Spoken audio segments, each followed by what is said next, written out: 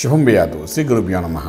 వృశ్చిక రాశి వారికి మార్చి ఒకటో తారీఖు నుండి పదిహేనో తారీఖు వరకు ఏ విధంగా ఉంటున్న విషయాన్ని విశేషంగా తెలుసుకోవడం ప్రయత్నం చేద్దాం. వృశ్చిక రాశికి మూడో ఇంట్లో గురుడు బుధుడు ప్లస్ శని కూర్చున్నా కాబట్టి విక్రమ స్థానంలో ఈ మూడు గ్రహాలు ఉండడం ఒక పాజిటివ్ సెన్స్గా మనం తీసుకోవచ్చు. చతుర్థంలో మనం చూస్తే రవి ప్లస్ శుక్రుడు కనిపిస్తున్నాడు.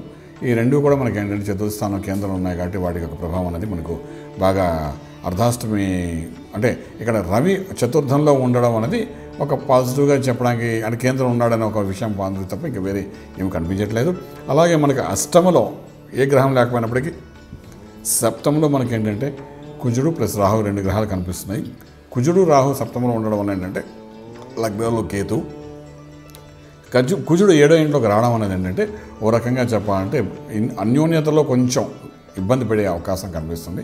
భార్యాభర్తల మధ్య అన్యోన్యతలో కొంచెం ఇబ్బంది పడి కొంచెం ఉరు- దురుగుతనంతో వ్యవహరించడము వాళ్ళిద్దరి మధ్య కొంచెం వేడి. అంటే మనం చెప్పాలంటే ఒక రకంగా అంటే ఏదో ఒక నిర్ణయం మీద ఒక అక్రాస్ ద డిస్కషన్స్ కొంత ఫైర్ అవ్వడము దానివల్ల కొంచెం మానసిక ఒత్తిడి పొందడం జరిగే అవకాశం కనబడుతుంది. కోర్స్ ఇది ఎంతవరకు మనకు విడిపోయేంతవరకు ఏవి తీసుకున్నది కారణం ఏంటంటే వృషిక రాశి వారికి ఏంటంటే రాష్ట్రాధిపతి కుజరయ్యాడు వాడే ఏడేంట్లో ఉన్నాడు కాబట్టి మళ్ళీ సమన్వయపరుచుకుంటారు కానీ ఒక వేడి అగ్నితత్వం మాత్రం వాళ్ళిద్దరి మధ్య పుట్టే అవకాశం అయితే బాగా కనిపిస్తుంది.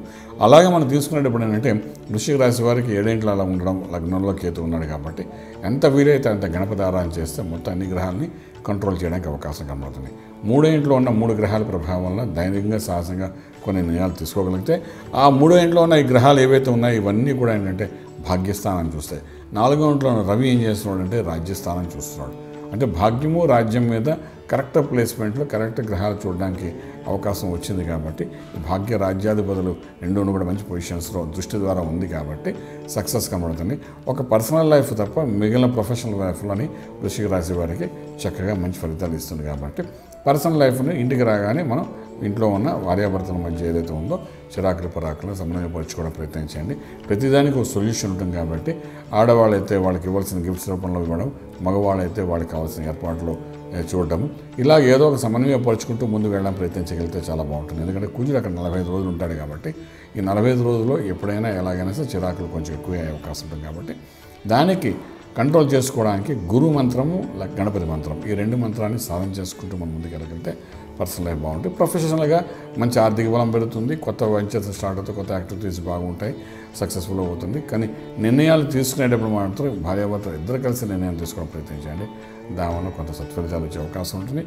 గణపతి అదేవిధంగా గురు మంత్రం. ఈ రెండు సాధన చేసుకుంటూ వెళ్ళండి. వృషి రాశి వారికి డెఫినెట్గా రాజమార్గంలో రాజ్యం పొందగలుగుతారు. శుభం బియాదు పూర్తి వివరాలకు సంప్రదించండి. Shri Vedamata Gayatri Jyotishyalayam. Brahma Srimantha Suryanarayana Sharma. Srinilayam first floor one not one. Sai Vaibhav layout Chitrapuri colony Khajaguda Hyderabad five lakhs eight. సంప్రదించవలసిన phone numbers triple eight triple five nine one four seven. Triple eight triple five nine one four eight. Nine eight four triple nine six triple four.